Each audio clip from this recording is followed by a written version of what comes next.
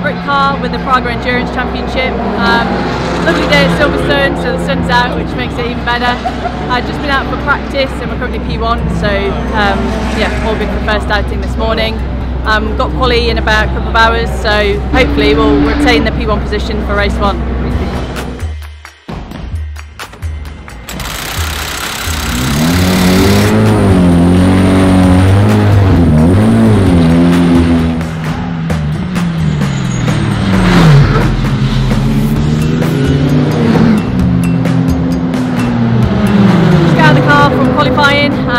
P1. It was tricky to, to put it together, there's so much traffic out there, but um, body's out now, so hopefully we can get pole position for our first race.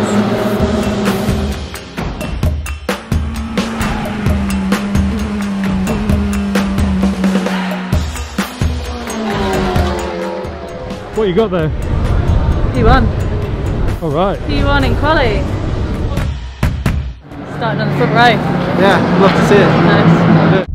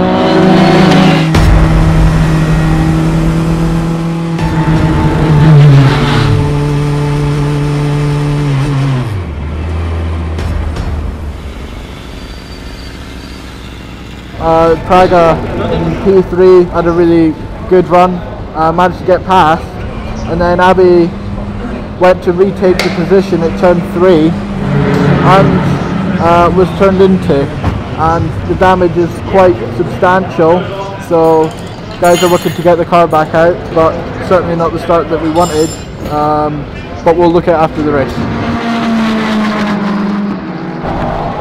Like I was, I was in the corner already, and he turned in, and I'm like, Yeah, I "Mate, mean, what are you doing?"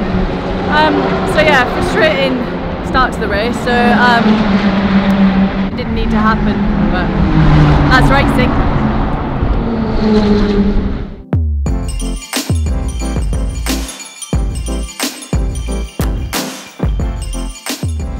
So this is um, the Praga that I'm going to be racing this year.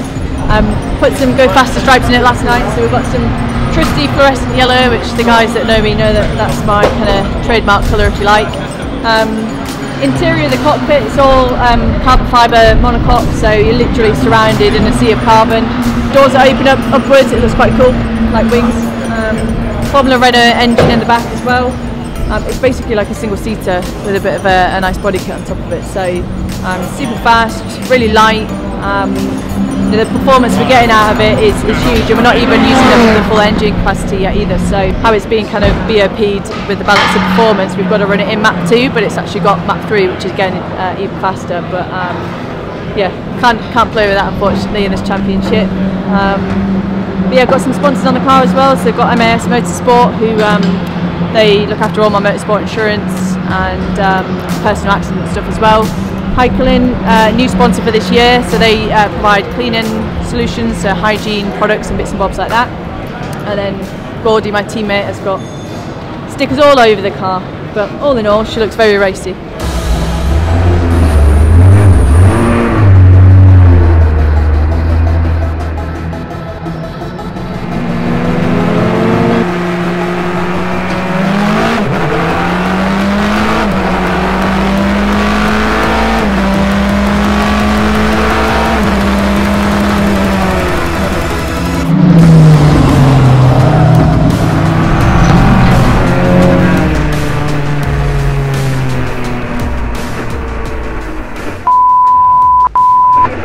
man,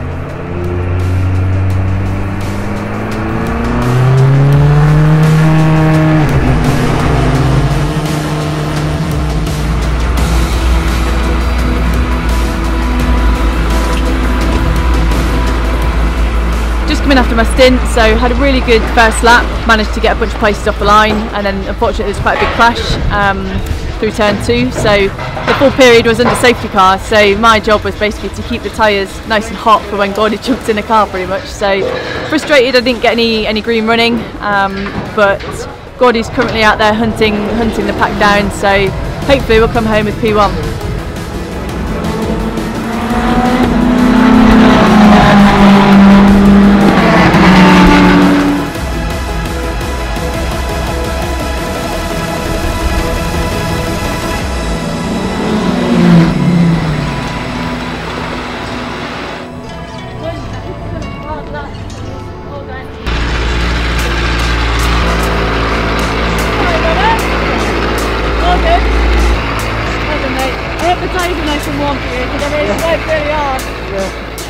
So end of the weekend, um, coming away with some trophies. So uh, managed to get first position in the last race there.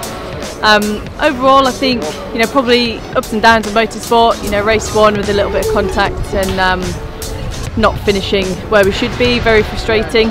Um, but then race two to be able to come back with a win is absolutely amazing. So I think you know we're a very strong pairing together, and I think through the rest of the season we're going to be a force to be reckoned with. We've only got a week to go, and then we're back at SNET. So it's looking like a very exciting season ahead.